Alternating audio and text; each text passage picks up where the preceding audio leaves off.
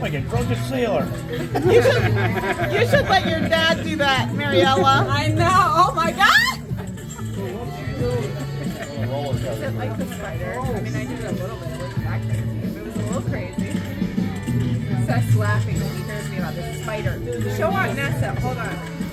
Oh my god, these things get me so You're ruining it. stuff. Hold on. Keep saying it out loud. yeah, yeah. Damn, that hot. Oh, that's me. Sorry. You like it? That was it. Oh, that was it? That one? Did it? Whoa! This also